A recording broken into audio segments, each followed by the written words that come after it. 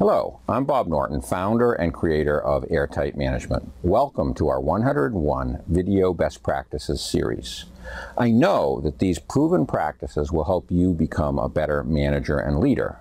We also know that companies that use even a small fraction of them over time become market leaders and world-class companies in their space.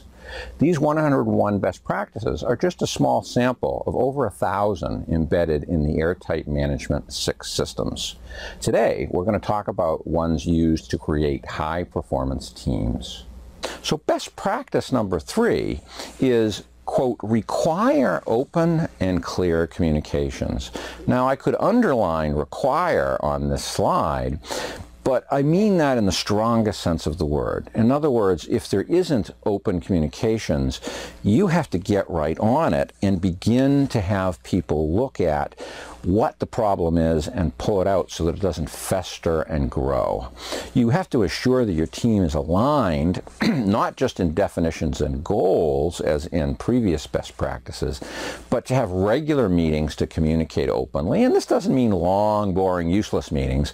It means a formalized agenda to look at as they do, as uh, Rockefeller did, the Rockefeller habits, to look at what are the bottlenecks that we're trying to get through today. Those kinds of short, agile meetings will help break through roadblocks and help the team conform as to, to communicate as well as help each other and bond. So this requires trust and, and the team and not a political or personal mindset or agenda. It should share measurements and financials. I mean, when I say open communications, I mean you're looking at key performance indicators, what your goals are, sharing those with the team. They may be financial, they may be productivity, they may be quality, whatever that team's job is, it should have some ending goals, ideally in numbers and hard numbers, as you would in a dashboard, KPI, uh, or anything to, to measure and prove what success is. Uh, you also want to eliminate and look down on politics, uh, and open communications tends to do that.